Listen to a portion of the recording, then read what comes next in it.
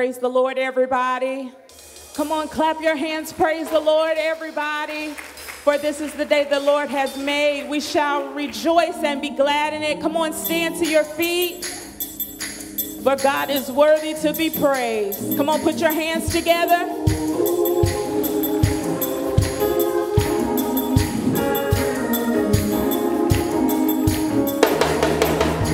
God, we love you. We worship you.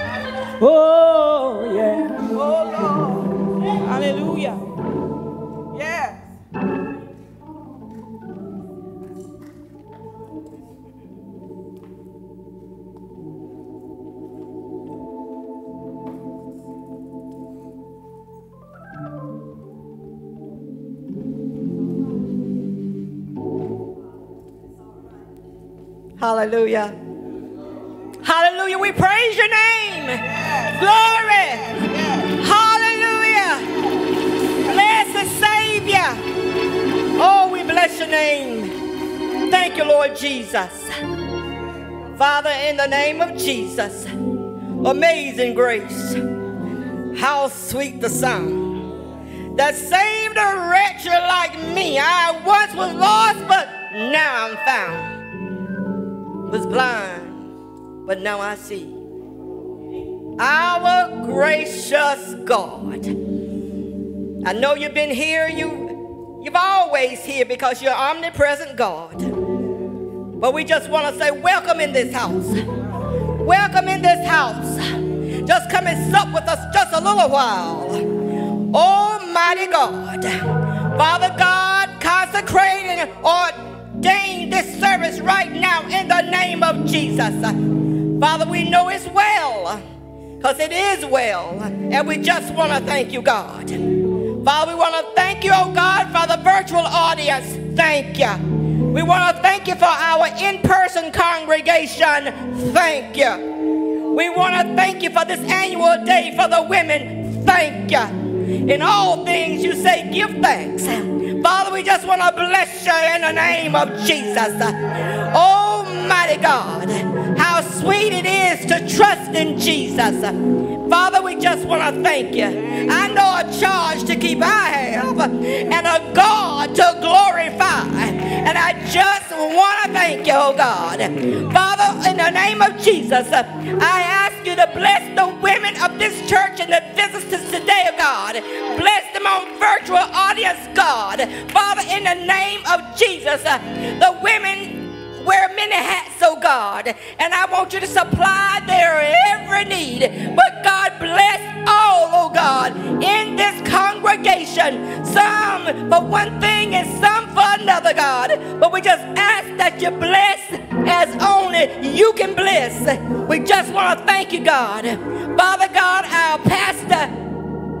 Pastor Timothy Dave Carruthers, oh God, and Lady Jill, oh God, wherever they are, put your loving arms around them, oh God. Protect them, oh God. Father, Father, Father, this is a mean world, God. But, oh God, your people, your people, oh God, are walking, oh God. I will pray in the newness of you, God. Thank you, God, in spirit and in truth, oh God. And we just want to thank you, oh God. Bless, oh God the minister of the hour, oh God. Father, in the name of Jesus, Father God, anything that may be vexed in her spirit right now, oh God, bring her comfort and give her peace in the name of Jesus, oh God. Speak to her in the name of Jesus. That which she hasn't even prepared for, oh God. Speak as only you can speak to a God. And we just want to thank you, God, that minds will be open and the minds, oh God, can generate to the heart, oh God, and the ears of the heart, oh God, will hear your unadulterated word in the name of Jesus. We want to thank you, God. We want to thank you, oh God. Thank you, Jesus. Oh, give thanks unto the Lord, for he is good, and his mercy endureth forever. Amen and amen. Blessed be the name of the Lord. Amen. At this time, Sister Blessy Vandervoort would give us our scripture.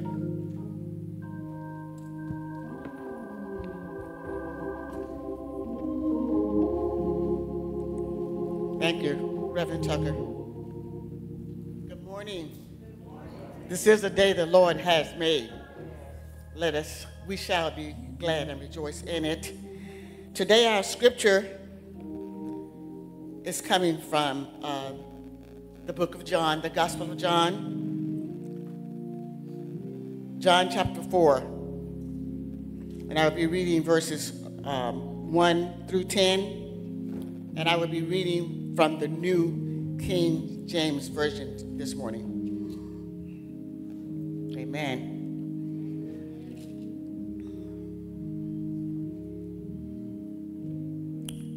John chapter 4, verses 1 through 10. Therefore, when the Lord knew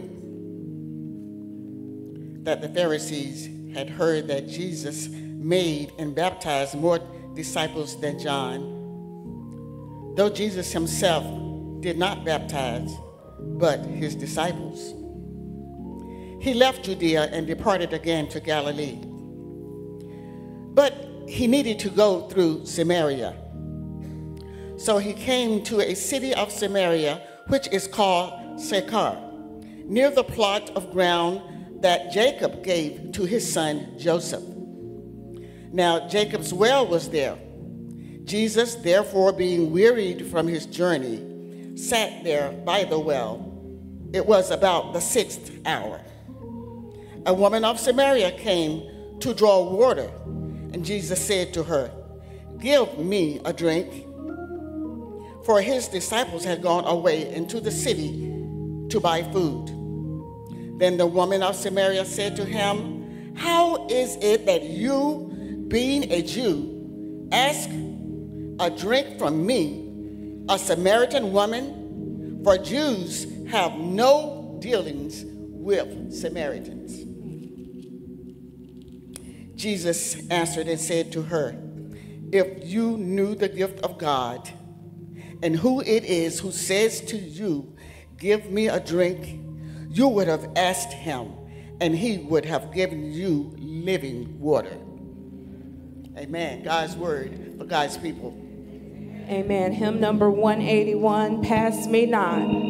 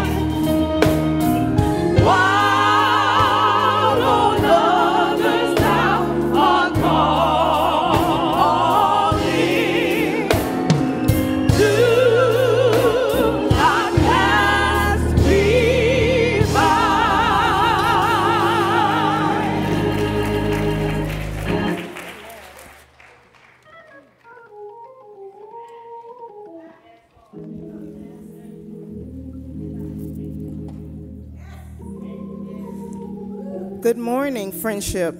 On behalf of Pastor Carruthers and Lady Jill, the Women of Friendship would like to welcome all visitors and friends here in the sanctuary on Zoom and Facebook Live to God's house. We pray that each one of us will take something from this worship experience to enhance our relationship with God. Welcome.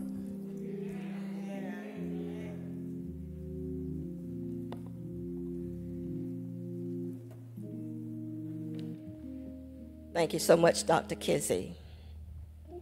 Let us listen to these announcements, please.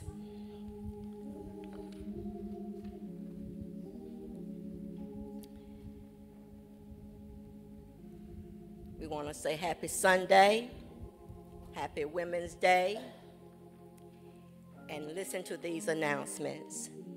It is a friendly reminder that next Sunday, October the 29th, We'll wear pink.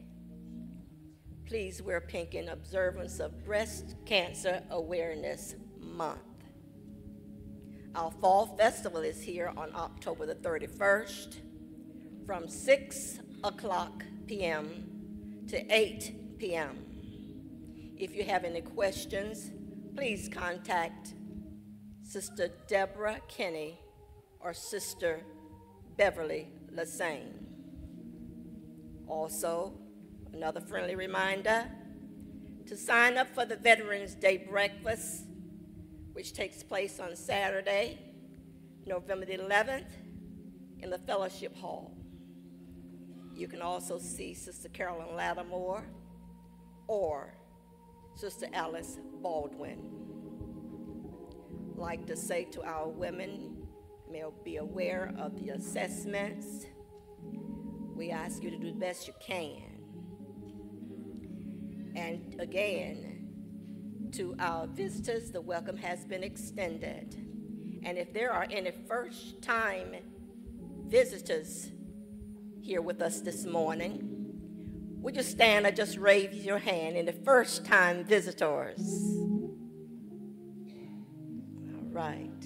First time visitors. Oh, thank you and bless you. Bless you. Yes. I want to say to you before you leave out of the, the sanctuary here, to the left as you go out the door will be some welcome packages. And we hope that you will enjoy your stay here with us. Amen. At this time, will have Sister Lily Johnson come forward.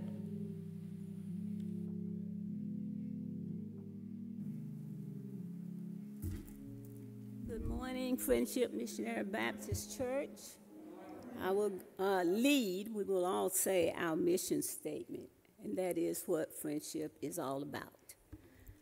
To love God by valuing and affirming the image of God in all humanity all humanity.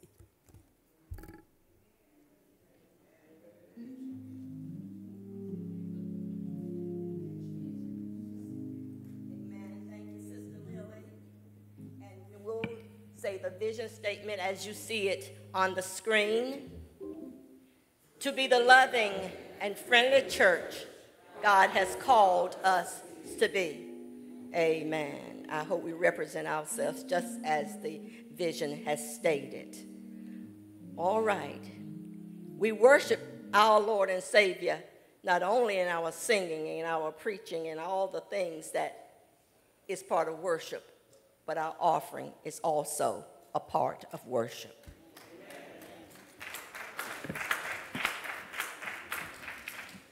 To God be the glory.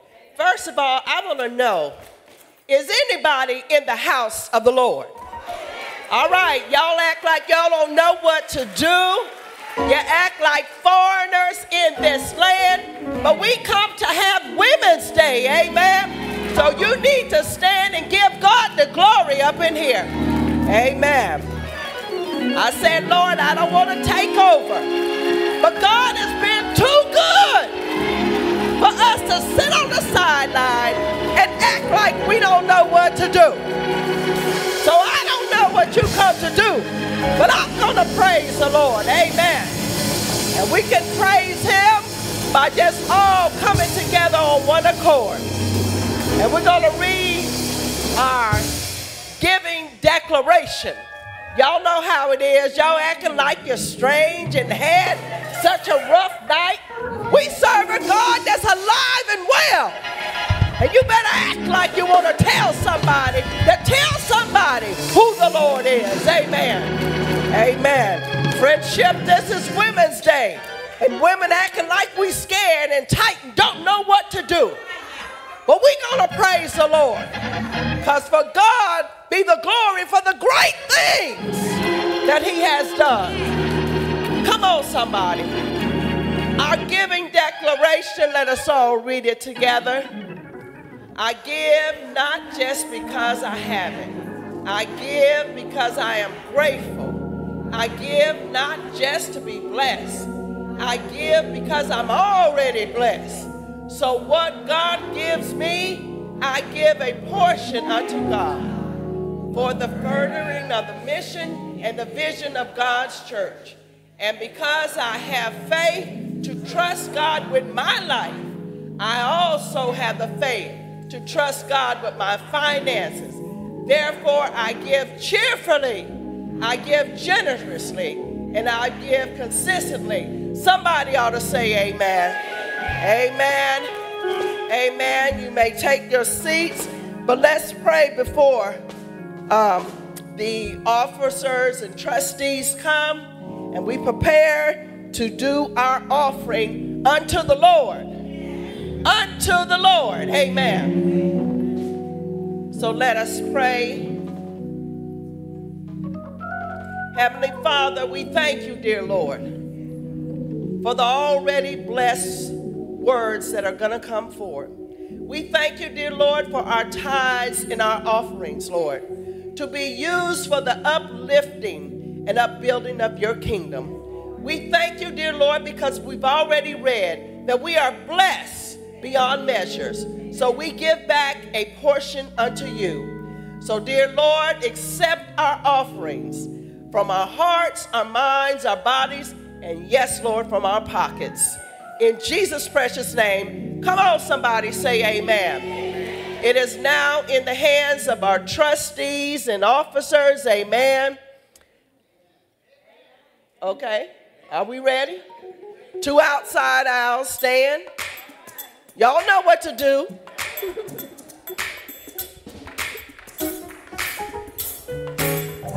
Amen.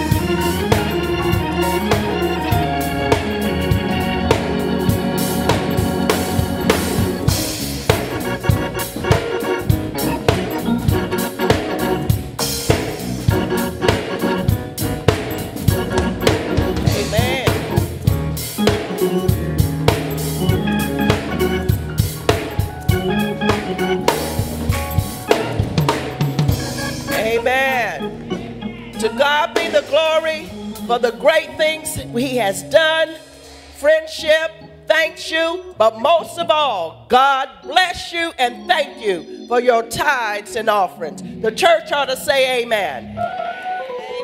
Amen. Amen. Oh, to God be the glory and thank Reverend Parker for such an uplifting, uplifting presentation to the Lord. Amen. At this moment, we're going to have moment of silence. You may let that moment be to whomever you so choose, but with it being Women's Day, I am sure there is a has been a significant, a significant woman in your life or is in your life. Lift them up right now, men and women in this church. Lift them up to the Lord. There are many who are in need of your prayers. Amen. The moment of silence.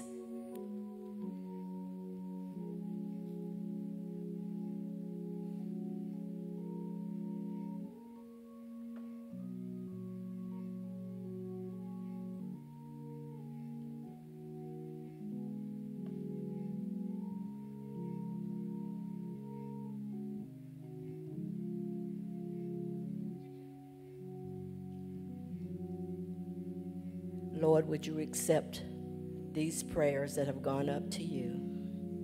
Father God, from sincere hearts, I know they will not return void. Everything is in your will. Amen. We are going to wait a while, or right now, we are going to hear the voice of someone that is very familiar to you. Amen. All right. Y'all be ready up there.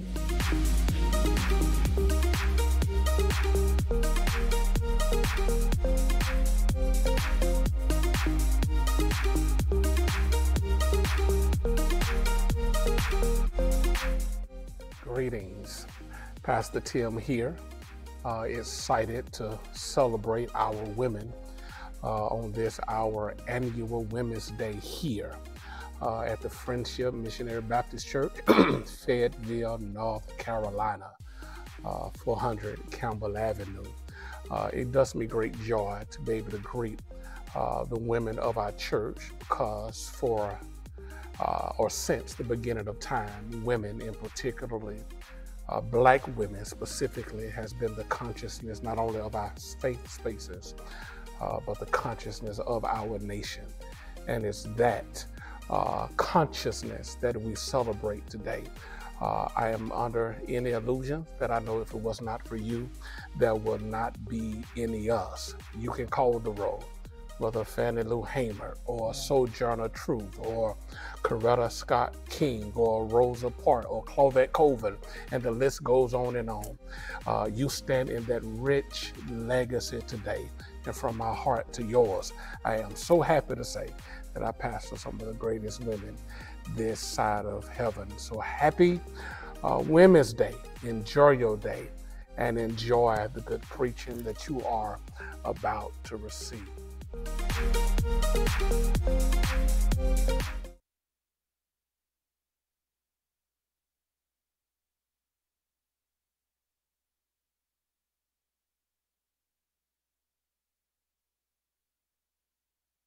Good morning, friendship family. Today I am introducing my big sis, my sister in love, Quisha Mathis. Uh, Quisha currently resides in Atlanta, Georgia. She has two beautiful children and now a daughter in law.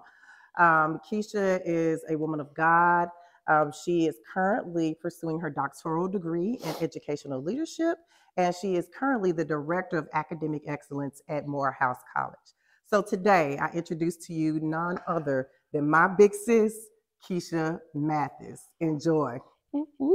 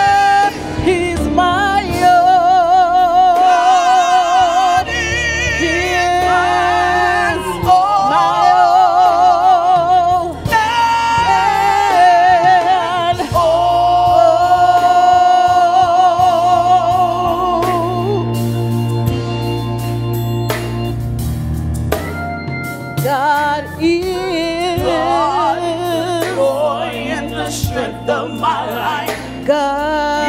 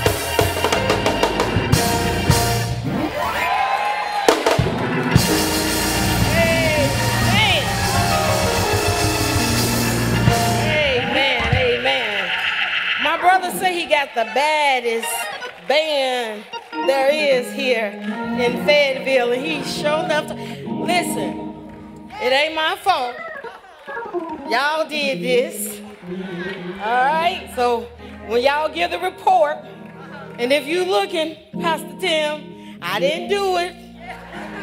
Your people don't know how to act. amen.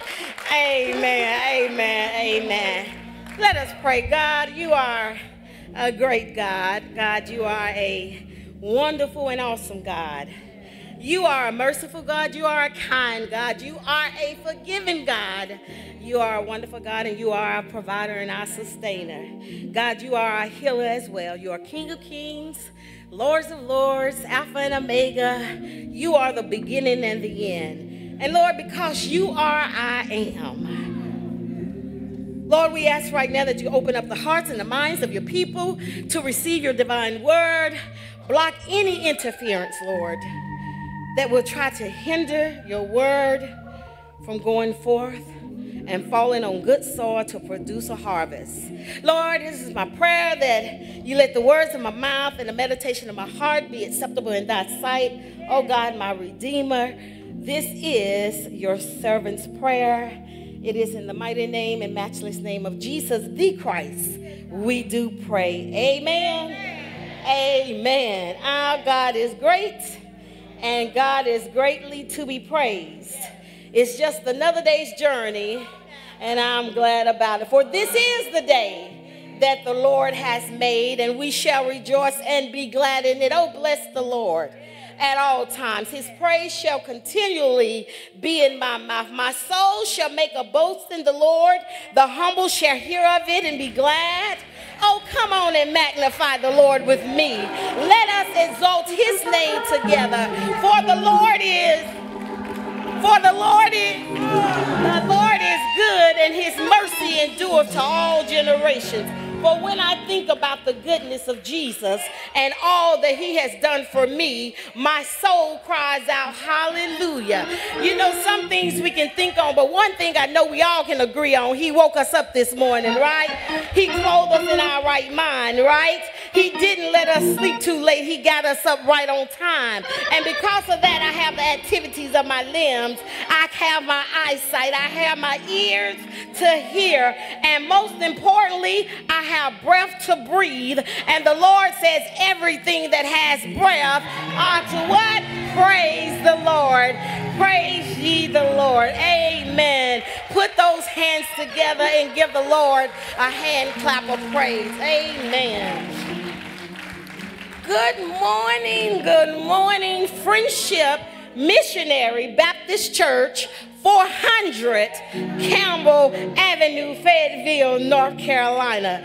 It is quite an honor to be here with you today. I honor your pastor, Timothy D. Carruthers, and your First Lady Jill Baskerville Carruthers in their absence, as well as the Pastor Emeritus and his lovely wife, to this beautiful, beautiful, beautiful congregation. I say thank you. Thank you so much. I honor you as well. You could have invited anyone from the White House to the penthouse, even from your own house. But you didn't count it robbery to invite me, and for that I'm grateful. I thank you so much. Now, I will be amiss if I did not thank my lovely family who has traveled with me. Uh, I can't look at my sister too much, y'all, because she get the crying, and I don't know who cried the most, her or my brother. I'm, I'm just not, I'm just, I'm just not sure. But listen, I want to thank my sister Sandra D. Williams, the oldest of the crew. Uh huh, Sandra, and my cousin, LaShawn Debos, and my cousin Kevin Moore. Y'all know him as Jebo. I know you don't want me to tell it, but that's what they call you here, Jebo. You've heard your pastor talk about Jebo. Y'all listen, listen, listen, listen. Let me boast just a little bit. Let me just boast a little bit.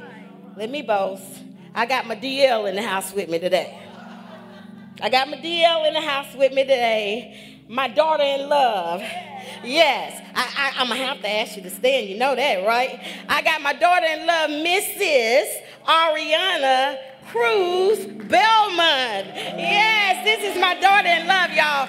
Listen, they got married in Disney World. They had the most. I'm so glad I get to do this first before Uncle Tim. Oh, I'm so excited before y'all pastor get to do this. But they had a beautiful, magical wedding. And she's here with her parents, my sis and brother Jose and Don Sisberry. That's my Sisberry right there, y'all. Don Cruz. I just want to say thank you all for coming. I really, really appreciate it. Thank you so much. So I'm not going to tarry before you long.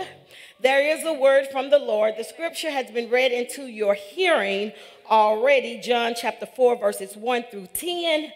But if you don't mind, we'll, we, we will use and focus on verse 4. And it says, He must needs go through Samaria. He must needs go through Samaria.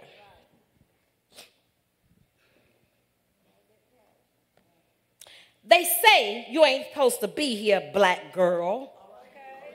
You ain't supposed to wear red lipstick. You ain't supposed to wear high heels. You ain't supposed to smile in public. You ain't supposed to smile nowhere, black girl. You ain't supposed to be more than a girlfriend. You ain't supposed to get married. You ain't supposed to want no dream that big. You ain't supposed to dream at all. You ain't supposed to do nothing but carry babies and carry weeds and carry felons and carry families and carry confusion and carry silence and carry a nation, but never an opinion. You ain't supposed to do nothing to say black girl unless it's a joke. Cause you ain't supposed to love yourself, black girl. You ain't supposed to find nothing worth saying in all that brown. You ain't supposed to know that Nina, Beyonce, Tina, Cicely, Shonda Rhimes, shine, shine, black girl. You ain't supposed to love your mind. You ain't supposed to love. You ain't supposed to love or be loved upon.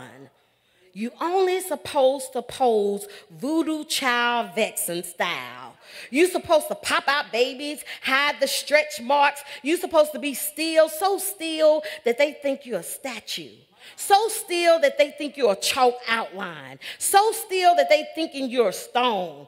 Until you look more Medusa than Viola Davis. Until you sound more Shanae than Kerry Washington. Until you're more side-eye than Michelle Obama on a Tuesday. But you tell them you are more than a hot comb and washing set. You are Kenta, Kenta, Kunta Kinte's kin. You are a black girl worth remembering.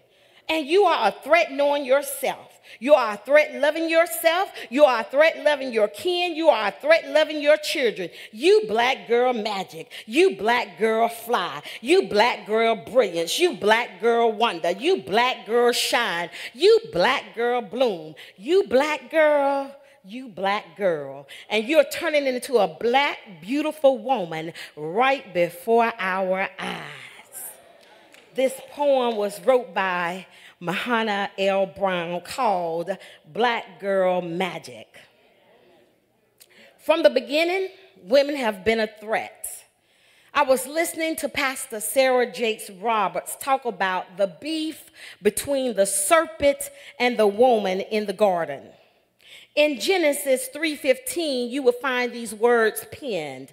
I will put enmity between you and the woman, and between your seed and her seed. He shall bruise you on the head, and you shall bruise him on the heel. Hostility, enmity, hostility, enmity between you and the serpent. Hostility means the state or feeling of being actively opposed hostility, hostility, finding someone or something that is always opposing you. It appears that we as black women face a lot of opposition. Opposition on our jobs, opposition in our homes, opposition in politics, opposition in the church, opposition with your friends, opposition with your family, opposition, opposition, opposition. But there is good news about this opposition. God didn't just say that he will only put the enmity or opposition against the woman from the serpent, but this enmity opposition is a two way street. meaning that the woman is not just going to feel opposed by the serpent, but the woman is going to represent opposition to the serpent as well. So when you step into your destiny, when you realize your purpose and you realize who you are in God, we bring opposition to the enemy's camp. We are bruising his head. So, in keeping somewhat with your theme, why now? If you would for a moment rest with this thought you are the enemy's greatest threat. You are the enemy's greatest threat. This woman in our text this morning, known as the woman at the well or the Samaritan woman, but if you would allow me to give identity to this woman, let me call her Sam. Sam grew up in a society that considered her unclean, a society that discriminated against her because of her gender and her nationality. A society in which she had no choice whom she would marry, no choice in whom she should have intimacy, not even a choice if or when, if he decided to leave or stay. Sam could be passed along as many as five times plus one. You'll get that when you get home. Yes. I, without her being able to say a word. She was part of a society where her body did not belong to her. This was the reality that Sam lived in. As a Samaritan woman, Sam was considered a half breed. Yes, this is how the Jews saw her and thought of Samaritans. This Samaritan woman, my sister, Sam was despised. No Jew would be caught dead in Samaria or even in their company. Doesn't this story sound a bit familiar? Today, we as women have little or no say over our own bodies. The law gets to determine when or if we can have a baby. The church sometimes make us feel like we have to have on a long skirt, what you put on, you can't put on, and the world do the same thing. This is the same story, just at a different time. So here in the text, we see Jesus having to do what no other Jew would do. He must needs, verse 4 said, he must needs go through Samaria. 6b says, and it was about the sixth hour. Our first point this morning is the appointment. Jesus had an appointment at 12 noon in Samaria. It was 12 noon, and I'm sure that when uh, Sam, our friend, went there, she probably thought no one else would be there. 12 noon was the hottest time of the day. Yes, Jesus still knew where to find her. Some of you are experiencing some of the hottest times right now in your life. But I came by to tell you the Holy Spirit must need come through friendship. He knew to meet you here today. Jesus had a purpose going through Samaria just as he has a purpose for you. He had to do what no other Jew would do. We too must do what other people choose not to do. Jesus knew that Sam was despised. He knew that Sam had been used. He knew that Sam had been talked about. He knew that Sam was a discriminated against. Jesus knew that Sam was even an outcast. It seems that Sam, the Samaritan woman, was dealing with a lot of opposition. But Jesus had a purpose. Sam, and Sam didn't even realize she had an unscheduled appointment with the divine. Day after day, you deal with opposition on your job. Day after day, you deal with opposition on your job. Day after day, you deal with opposition in the church. You deal with opposition in the street. You deal with opposition because of your race. You deal with opposition because of your gender. You deal with opposition because of your sexual orientation. It seems you can't get a break. You feel opposition is on every side. But I just stopped by for a few moments, just for a few moments this morning, and to say there's a must need. You too have an appointment with the divine. Jesus wants you to know, yes, you. Jesus wants you to know that your gender, your race, nor your sexual orientation cannot separate you from his love. He doesn't, it doesn't matter what anybody has to say about you. It doesn't matter what your past has been, what your present is, even what your future may be. He has sought you out and made a detour this morning just to tell you, yes, you, that he loves you just the way you are.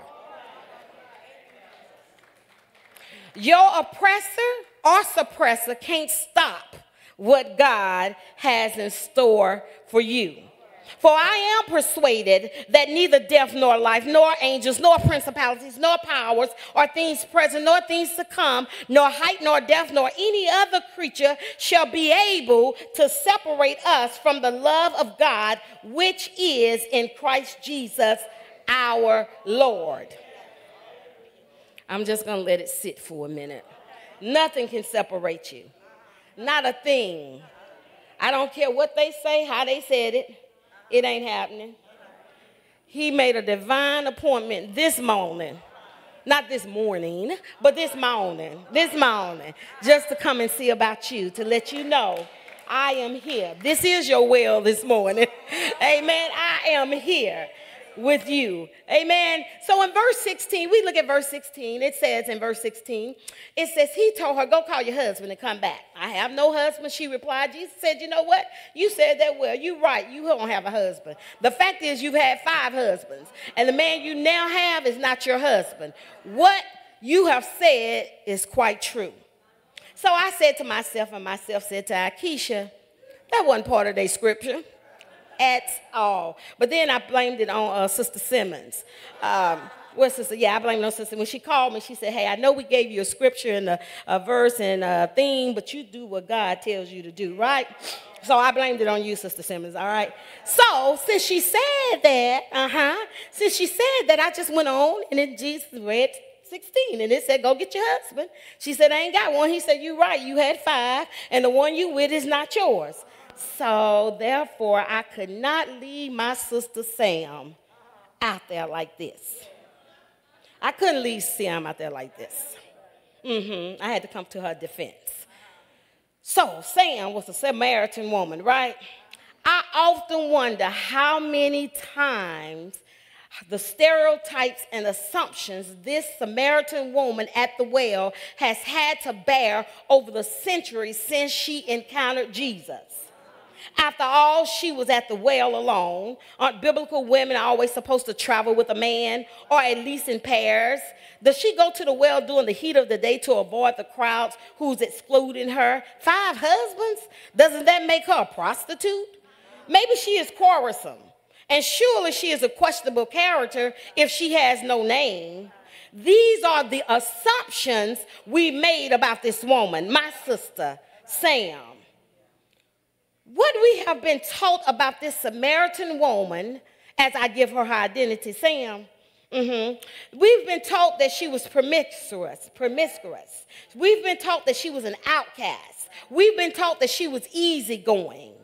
But Jesus notably makes no more commentary on the marital uh, status of the Samaritan woman. His observation of her relationship history only becomes an opportunity for him to highlight his divinity. Lean in for a moment. Come here, let me tell you a secret. Most biblical women had no autonomy. Most biblical women could not own property. Most biblical women never was in love relationships, were only married off as property. Most biblical women had no power. But these enormous uh, portraits and labels that we people of faith have created and painted of biblical women mostly reflect the patriotic desires for women. If we dress a certain way, we're labeled. If we walk a certain way, we become labeled. If your skirt is too short, you labeled. If you have a child out of wedlock, you're labeled. If you get a divorce, you're labeled. If you remarry, they label you. If you're single, you're labeled. We are always labeled by something or someone. Someone in here today has been labeled. Just like we did my sister Sam. All her biblical life, she's been called all kind of names.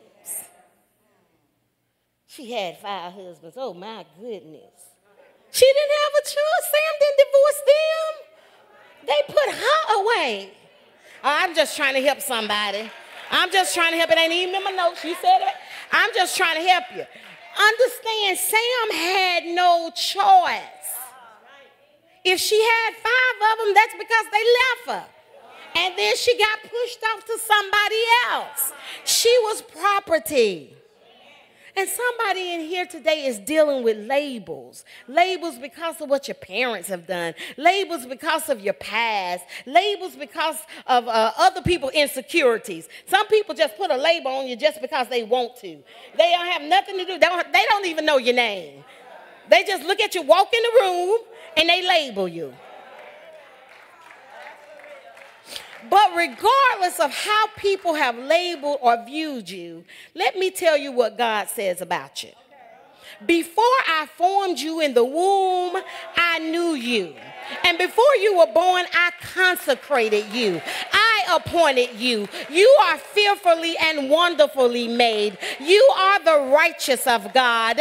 You are a masterpiece. You are so precious to Jesus that he died to pay your ransom and give you new life. So, baby, don't you worry about what people are saying about you. Don't you worry how people are viewing you. Don't you worry what they even label you as. You just remember to regurgitate what God has said about you. Every single time they say something, if they look at you funny and you walking in, you just say, I'm wonderfully made. Yes, I am. You know what? I'm gonna tell it. It ain't my notes. I'm gonna tell it. I'm gonna tell it. I'm gonna tell it. And it's and I'm giving. I'm gonna put this on my mama. Bless your heart, mom. She's in heaven. But I'm gonna bring her on right here. The ancestors right here with me. So this morning, let me tell you. Not in my notes. Let me tell you this. This morning we was riding. My cousin Sean said, "I learned something new about you this morning, Keisha." I said, "What you learn?" She said, uh, "I learned you keep the rearview mirror on yourself when you're driving." That's what she said. Am I lying? Did you say? She said that, and I said, dang. I said, people tell me that all the time. But let me tell you why, what this is all about. When we were growing up, sister here, my mom made sure, that's why y'all pastor so spoiled. My mama made sure to tell us every day, you are beautiful. Every day, you are somebody. Every day, girl. It ain't never been a time my brother was in the pulpit, she probably texted him and said, you know you look good today. So, all I'm trying to tell you today is don't worry about what people are saying about you. You tell yourself, I am beautiful. You tell yourself, I am a masterpiece because I'm a piece of the master. You just smile it off and keep on moving and keep on trucking because the bottom line is this they have no heaven nor hell to put you in. So, you just keep on moving, keep on trucking because God has a purpose for you. He wants to highlight his divinity through you. So now we see the appointment and we see the assumption. Finally, let's look at the assignment. Verse 28 and 30 says, Then leaving her water jar, the woman went back to the town and said to the people, Come, to the men too, come, see a man who told me everything I ever did. Could this be the Messiah? They come out of the town and made their way toward him. This woman, no name. This woman, whose race seems to be offensive to the Jews, this woman, who has clearly been put aside by men a few times, mostly passed along, is the woman whom Jesus has chosen to be an evangelist. This woman, who people talk about, this woman, who people shun, this woman who people say I never amount to nothing, this woman who people are looking at your current situation and saying it'll never happen, this woman is the one that Jesus decided to use. This woman. So, despite the picture one may paint of her, despite the lies that has been told about her, Jesus had a purpose and a plan for stopping by the well, and it wasn't to rebuke her, but to anoint her to spread the good news of Jesus. Let me say that one more time. He stopped by the well not to rebuke her, because that's what we've been taught. Uh-huh. He stopped by the well to anoint her so she can go out and tell everybody about the good news of Jesus. See, you see me when you when I left you going to the well, y'all was talking about me. When y'all when I left you and was going to the well, y'all was calling me, you know, probably a prostitute, whatever. When I left to go to the well, y'all was saying I'm nothing. I'm just a whatever. She she look, nobody ain't looking at her. She, she's a what? What did I say she was? She, they, they talked about her because she was a half breed, you know? They talked about her, but when I left, that's what y'all was saying. But come here, y'all. When I had an encounter with Jesus, he came to say, baby, I ain't worried about what they talking about. You right. That's it. That's what they said. They said all of that. But baby, I came to anoint you.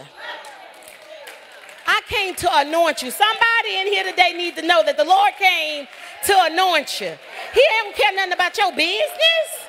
He came to anoint you today. Not only did Jesus empower her, but he also gave her authority. Verse 30 says, They came out of the town and made their way toward him. Don't give up, woman of God. Don't you even give in. The enemy wants to tear you down before you can tear his kingdom down. Remember, you are his greatest threat. So Jesus did not go to the well to condemn her, but to emancipate her.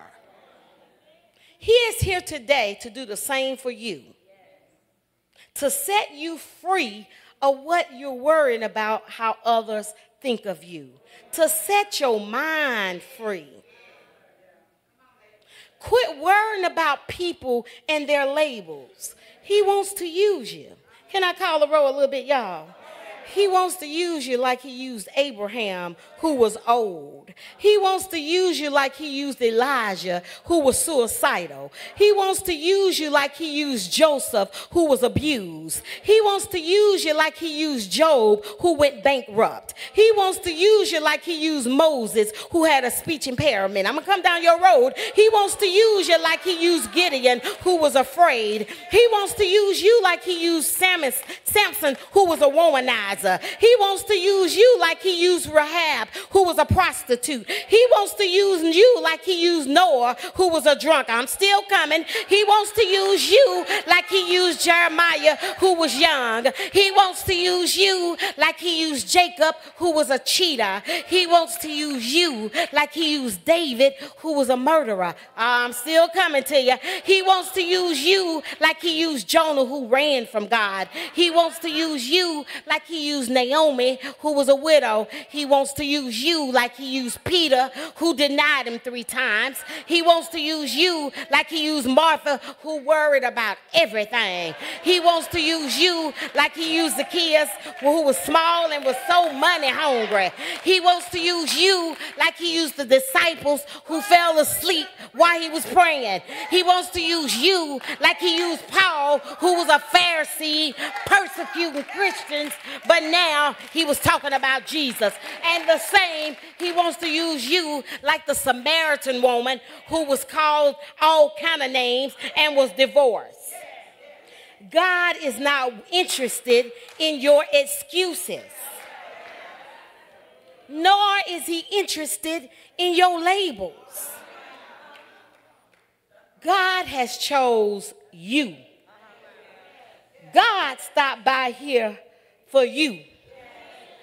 You better get it. He stopped by. You when you leave here today, you ought to walk with your head proud. You're like, Lord, I went through that for this. You ain't never paid no attention to that. I mean, I let these people get in my head like that. And you you used a drunk.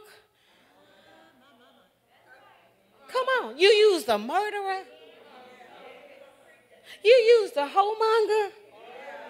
Come on, y'all. What are we talking about in here? We're talking about how God can use you in spite of you. We're talking about allowing people, allowing people to get in your mind and you stop doing what God has called you to do because you think you're not good enough. But if truth be told, you just don't know what they have done. A preacher often say, you know, sometimes we look at the sins we can see.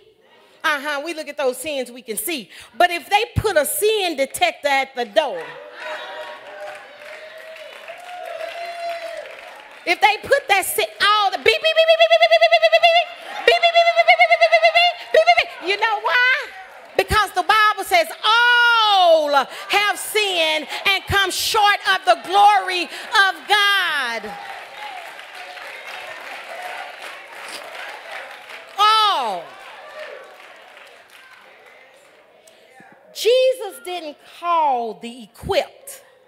He equipped the called.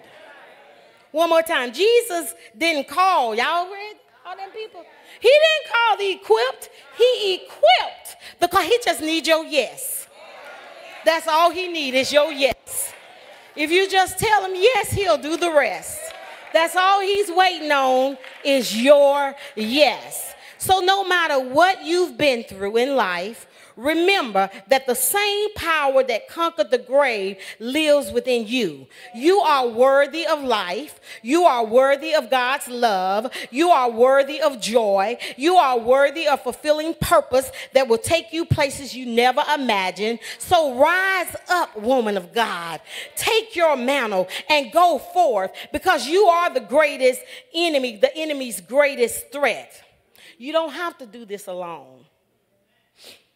As I close, there's a story, very familiar story. I'm sure you probably heard it, but I love it, and I'm going to say it again because I love it. There's a story told about a young girl who often goes to church with her parents every Sunday. And so she go to church Sunday after Sunday, and she comes home looking perplexed a lot. And so the parents, you know, your children can look strange in a way sometimes. Well, you really don't pay no attention to it, you know. So the little girl comes home, she's looking perplexed. So finally, one day she decided, you know what, I'm going to ask the question. I'm just going to go ahead and ask this question. Mom and Dad, can I ask you a question? They said, sure, dear. What is it?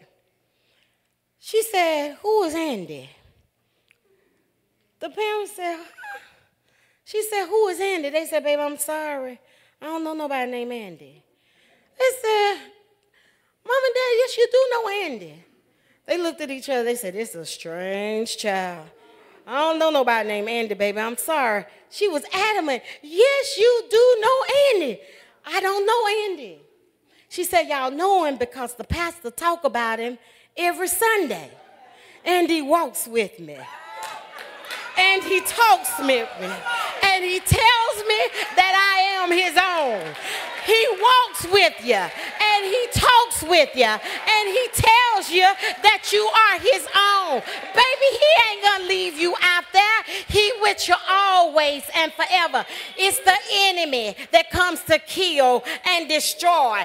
But God comes that you may have life and have it more abundantly. And and he walks with you, and he talks with you, and he tells you that you are his own. Come on, child of God. Rise up, women. Take your place. Take your place. He's walking with you. He's talking with you. Sometimes in the midnight hour, you don't think he's there. Andy is in the room. Andy is in the room. Just call on Andy, and Andy will do it for you. Andy will never leave you. Andy will never forsake you. Andy will feed you when you're hungry. Andy will pay your bills when you think you ain't got enough money. When your money looks strange, right? Andy will take you to the hospital, and Andy will heal your body. Andy will go to the courtroom with you, and Andy will uh, get the lawyer. Andy, his name is Andy. Hey, Andy, take y'all rightful place, women of God. Take your rightful place. Rise up and bruise the enemy's head. Walk in your God given purpose and let God use you because, y'all ask me why? Because you are the enemy's greatest threat. God bless you.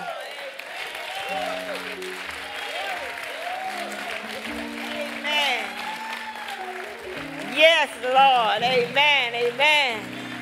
We have had a oh, that's mine. We have had a message. Indeed, we have had one. And I know you're in here. No, Annie. Annie woke me up this morning. She preached. it. she preached it. I won't dare touch it. But I'm so glad Annie healed my body. Hallelujah. Thank you, Jesus. Thank you, my Reverend Mathis, for letting God use you. He spoke to you, girl. You didn't have all that written down. Hey, yeah, no, no, no. Hey, back there, back there, we asked him to speak speak, speak to her. And he spoke to her and she spoke to us. To God be the glory for all the things that he has done. Have your soul not been fed today?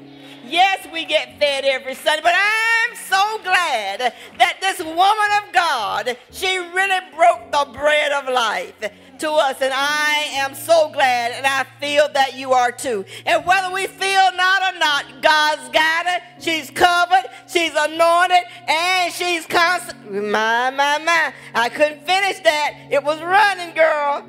Yes, it was. I couldn't finish it. Blessed be the name of the Lord. So now, you've heard the sermon. And there just may be somebody in here sitting out there in our audience today that needs to get a closer or just need to know Annie. Hallelujah. Because Annie certainly will carry you through. Annie. Annie, Annie, Annie. I thank God for Annie. Now, if there is someone out there who does not know Jesus, who has not given their lives to Him to save your soul, it is a free gift. It is a free gift. It says in Ephesians 2 that we're saved by if that by faith through grace and not of ourselves. We can't do this thing. It's a free gift. Take it. Take your salvation from Jesus. It's free. And if there's someone there, and maybe you do not want to acknowledge it right now, but your heart, your heart is stirred from the word. So I'll say as you sit there and you're not saved, right where you are, ask the Lord to come into your heart and be your Lord and Savior. That I am a sinner and I desire to be saved, to shun the penalty of hell. So, Lord, I believe that God raised you from the dead. And if you raise God, Jesus from the dead, I know and I want right now to rise with you. And we just want to thank you. Anybody who is desiring salvation right now, if there is any woman, you try. Men, you are never overlooked. Never. You may join your lady, or you just may come with the ladies' friendship men or whomever. If there are women who want to come and be prayed for, please come. We women need the Lord more and more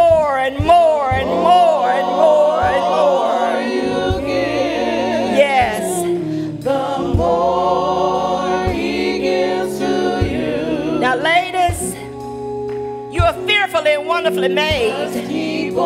But we need to walk with God each day, and we just can't say, okay, I got it and leave it. It's really true. We all need prayer. And you can. The church is open for you to come.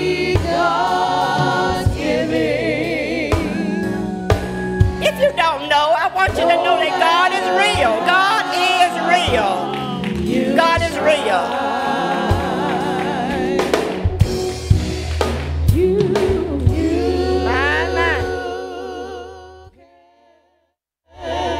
God is real. I mean, we got some booming going on, but we got Jesus.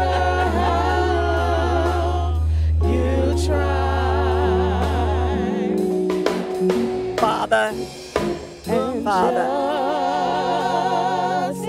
sure Father, Father. that you are living, and the Lord is in Father. heaven Father, in the name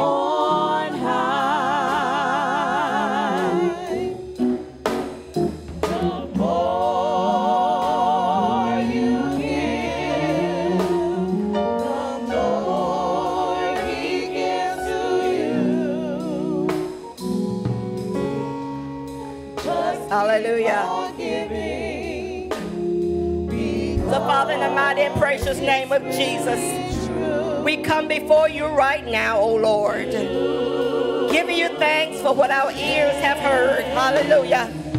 We just want to thank you, Father. Father, in the name of Jesus, you are the one who can reach. The word has gone out, but God, you are the one that, that can reach. If you be lifted up, God, you would draw all men unto you, Lord. And Lord, we just want to thank you, God. We want to give you praise. Father God, if there's nothing we can do or say, let's, Lord, thank you, thank you, thank you, and thank you, Jesus. For every moment, oh God, we want to say thank you. Every breath that we take, we want to say thank you, Jesus. Father God, pass us not, oh gentle Savior. Hear our humble cry.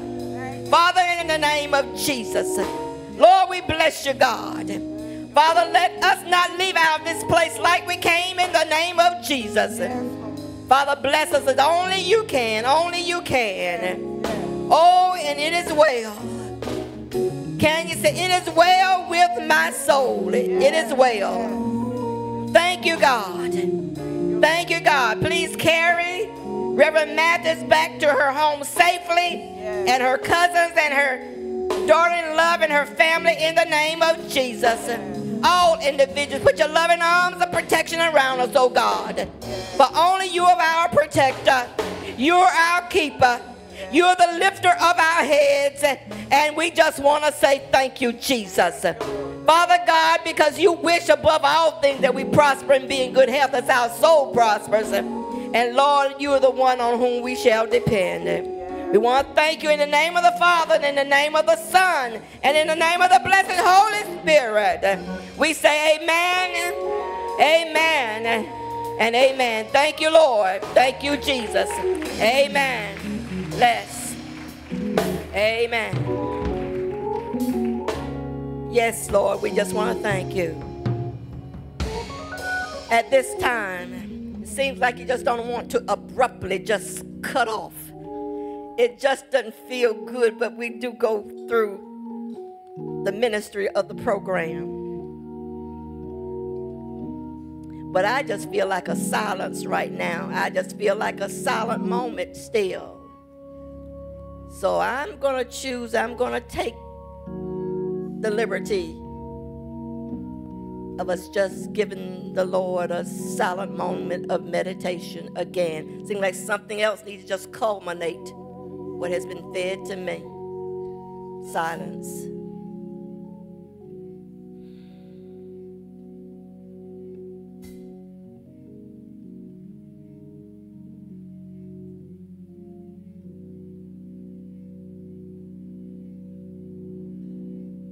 Deep breath in. Slowly let it out.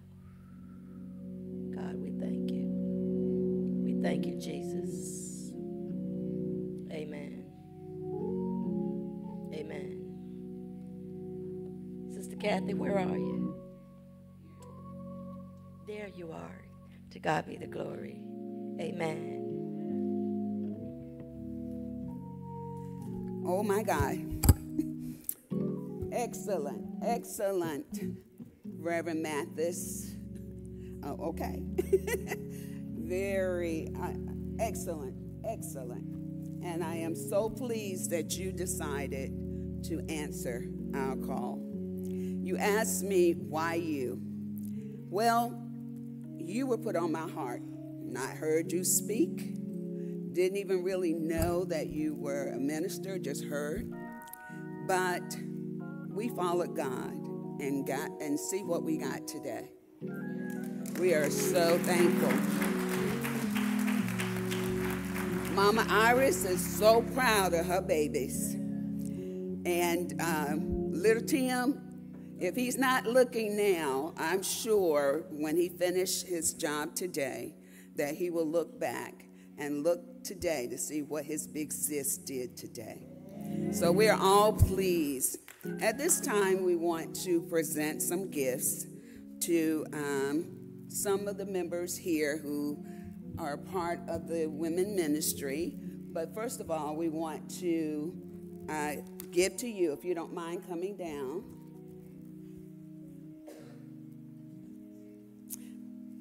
Both of you can. The one thing that I got today when the light bulb went on, that Sam had no choice.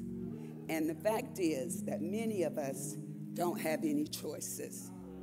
And to know that that label that has been put on us, it was all because we didn't have any choices. So thank God for that. Come on down because I'm gonna start crying.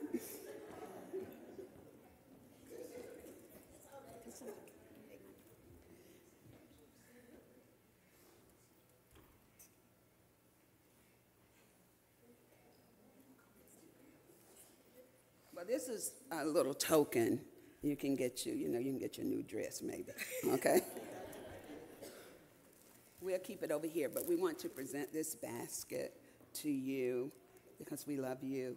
And it's just a token. We can never pay you for what you gave us today.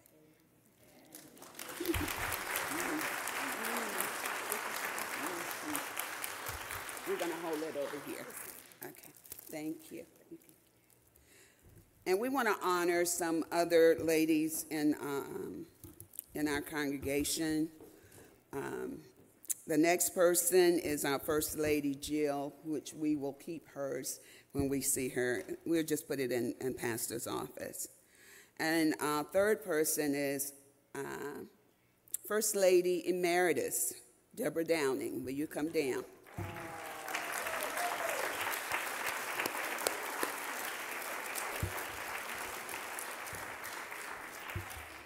We are to always honor those that have gone before us. Amen. And we should have learned some lessons along the way. Mm-hmm. So we it's not much that we can give you. What we have today will not pay for the things that you've done for us. But we want to hand this token. Turn this way.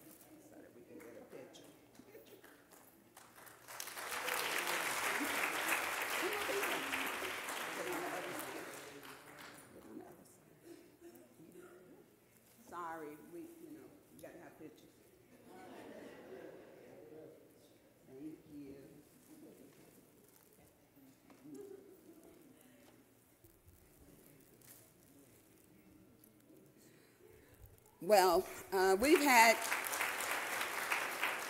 we've had several events this year, and our president of the women's ministry, Shawnette Simmons.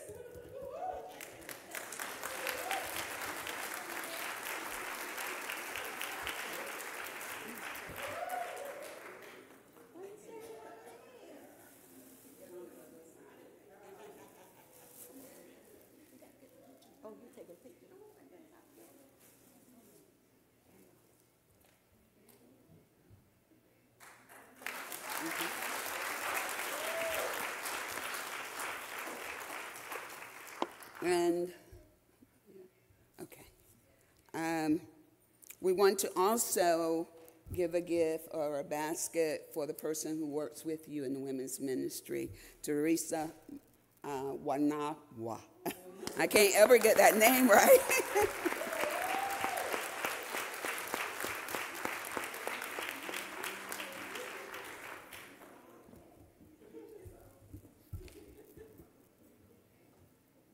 Remember that.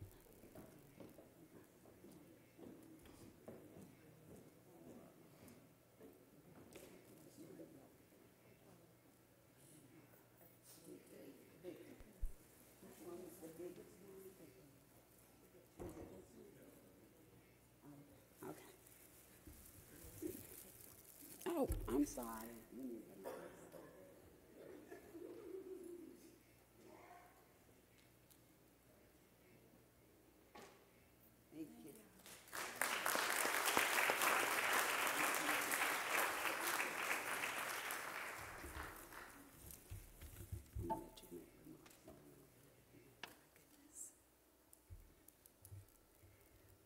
Kathy and I are, Dr. Waddell and I are, is the committee, I'll say, is the committee for the Women's Day um, ministry today. And we cannot express sincerely our gratitude to all of you for being here today.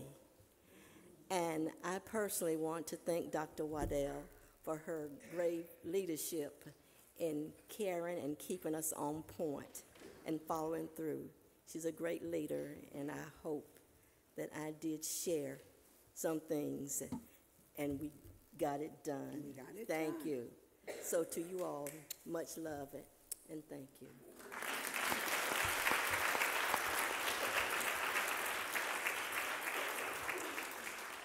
Well, Reverend Tucker, we got through this, didn't we? Oh, doesn't it feel good? It feels so good.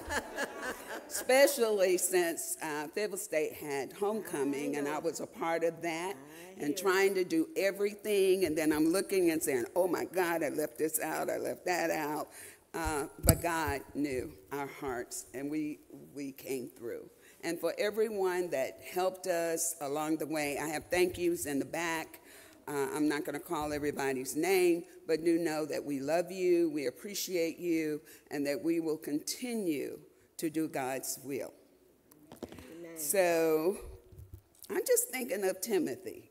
You know, I just see his face. Reverend, Reverend Carruthers is just having a good time and can't wait until you get off the pulpit so he can call you. Um, the Samaritan woman, I had not heard it before, the way that it, it was preached today. I do want to know that I am a masterpiece, and I hope that all of you feel that you are a masterpiece. So thank you. We love you. And thank God that this is over.